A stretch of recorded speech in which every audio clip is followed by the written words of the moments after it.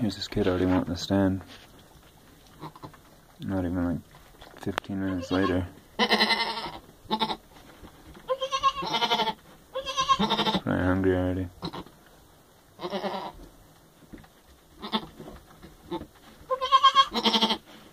Ugh, gotta get that mess out of there. Yuck.